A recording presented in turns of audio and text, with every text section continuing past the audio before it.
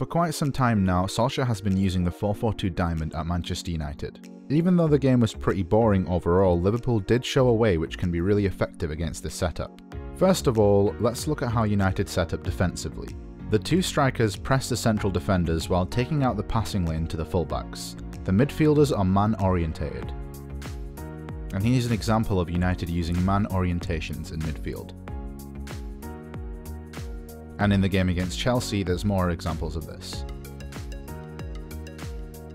When the opponents are able to reach the fullback, United's side midfielder would press, and United's defensive midfielder takes over his opponent when possible. Here, Herrera steps out to press Robertson. Pogba goes to the fullback with McTominay going to his man. And also in the Chelsea game, Pogba goes to the fullback. Matic doesn't go to his man as the distance is too big. In my Chelsea United video from last week, I already explained what Chelsea could have done against this type of defence.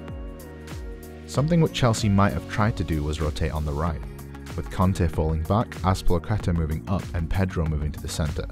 This would have allowed Luiz to play the crossball to Azpilicueta, who could then receive in more advanced areas, or to play the ball behind the defence for the runs of Pedro and Higuain. Here, Chelsea could have rotated on the side to try and create more progressive options. Here again, if Chelsea would have rotated they would have asked questions of the United defenders, and in the last example, a rotation and runs in behind might have led to more progression. Near the end of the first half, Chelsea did something like this a couple of times, but the decision making and accuracy were lacking. Last week, this was just a thought of mine, but this week Liverpool showed that this can actually be very effective against United. When Liverpool rotated, Shaw was constantly forced inside by Salah. Pogba then had to decide to either go to Milner and leave Henderson free, or go to Henderson and leave Milner free. Liverpool have rotated on the side and Pogba has followed Milner. This allows Henderson to get free in midfield. Pogba is again forced back by Milner. When McTominay goes to Henderson, he leaves space between the lines. McTominay goes to Henderson, however this means he does leave space behind that Liverpool might exploit. Here it's the other way around. Pogba follows Henderson which leaves space for Milner to exploit.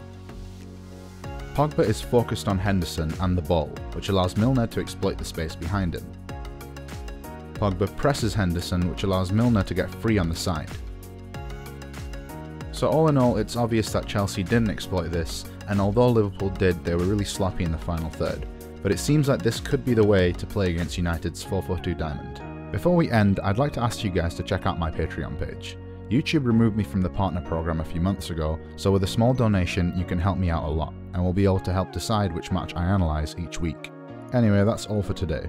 Make sure to give this video a like and subscribe to the channel. All the links you need to Patreon, Instagram and Twitter are in the description. Thanks for watching and we'll see you next time.